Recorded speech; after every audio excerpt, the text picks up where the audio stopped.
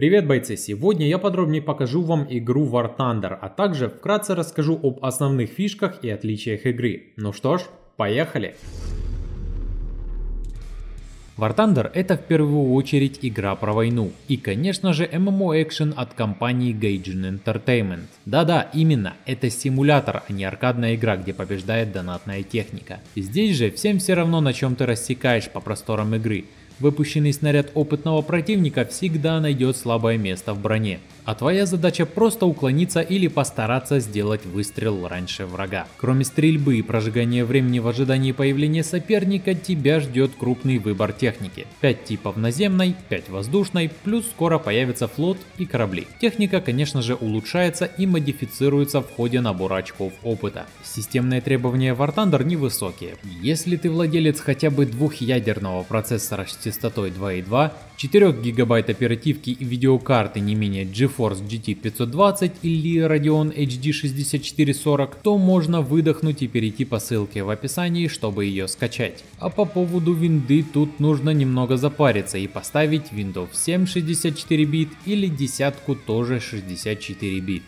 Теперь более подробный обзор War Thunder. Техника в игре лично меня радует своим ассортиментом. Самолеты разных типов выполняют разные задачи в миссиях. Бомбардировщики рушат наземные цели, а перехватчики и истребители широкого применения могут уничтожать другие самолеты подобного типа, чтобы команда врага не смогла выполнить поставленную цель. В танках все кардинально по-другому. Кроме ветки изучения техники, танки многозадачны и могут как уничтожать технику противника, так и отлично удерживать позиции с поддержкой артиллерийских ударов. Места проведения битв, ну то есть карты, хорошо проработаны и отлично отображают бытность тех времен, где точилась война между двумя сторонами. Игра может закинуть как в пустынный Египет, так и на зимний Сталинград. Ваше выживание на картах зависит только от знания местности и умения управления танком. Система улучшений частично отличается от других проектов, но есть и заметные отличия, скажем, от того же World of Tanks. Улучшение техники поможет вам сделать ее более вариативной. Например, возможность тушить возгорание техники, вызывать арт-удар в нужный квадрат, увеличить скорость ремонта или ускорить перезарядку орудия.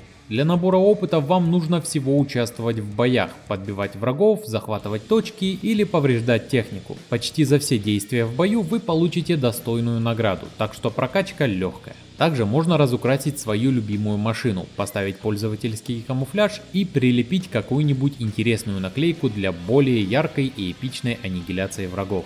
Теперь плавно перейдем к боевой системе и механике игры. Несмотря на то, что игра делится на две части, динамика игры не дает вам уснуть в бою все еще зависит от типа техники и вашего стиля игры. Если вы настроены на то, чтобы пассивненько выпасать в кустике врага на дистанции или плавно бомбардировать укрепления противников с воздуха, то геймплей будет медленный и особо запариваться не нужно. А вот если вы прирожденный штурмовик и любите прорывать оборону противника на земле и в воздухе, соответственно получите качественную динамику боя, где ваш скилл зависит от вашей реакции и экипажа техники. В каждом бою вы можете использовать только три танка. Когда ваш танк погибает в бою, то при следующем выборе техники он становится недоступен, не считая навыка дублирования. Баллистика. Баллистика заслуживает особого внимания. В аркадных схватках игра помогает вам брать упреждения и просчитывать баллистику, а в симуляторных сражениях этого нет и вам нужно все делать самому. Так что после покупки нового танка внимательно изучите траекторию полета снаряда. Есть такие случаи, когда снаряд ПТСАУ летит не так далеко, медленно и еще нужно брать большое упреждение, а снаряды легких танков летят дальше, но их пробитие не впечатляет. Бронирование. Перед тем, как идти в бой, нужно примерно знать защитные свойства танка, то есть его сильные и слабые места брони. Если у вас более бронированный лоб или на бортах есть дополнительная навесная броня, сетка или накладная броня, то этим нужно пользоваться и подставлять только эти части. Но и чтобы пробивать толстяков, нужно иметь элементарное представление о бронепробитии. Например, осколочно-фугасные снаряды имеют слабое пробитие, но скорость полета пули и взрывной урон выводит из строя внешние модули, а также легко бронированную технику. Для пробития жирной брони подойдут обычные бронебойные, но количество пробития сильно зависит от дистанции. Больше дистанция, меньше пробития. Как отличный аналог ББшкам подойдут подкалиберные бронебойные, которые имеют больше пробития, но не так сильно зависят от дистанции. Еще можно пострелять трассерами, но они только лишь спалят вашу позицию.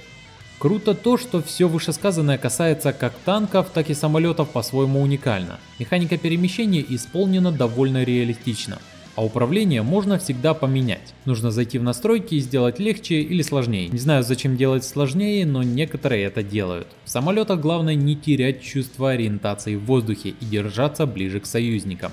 А в танках важнее всего не лезть на рожон и соблюдать тактику выстрел-отход. Разработчики же в свою очередь выпускают новые обновления, гайды и новости. Например, обновление War Thunder Буря которое принесло обновленный движок 5.0, обновленную графику и спецэффекты, которые еще больше погружают в атмосферу игры. А еще тундру можно найти в стиме. На этом все, друзья. Если вы еще не знаете, как начать играть в War Thunder, то все ссылки есть в описании и на экране вверху есть наш видос. Также подписывайтесь, ставьте брутальный Лукас. Всем пока!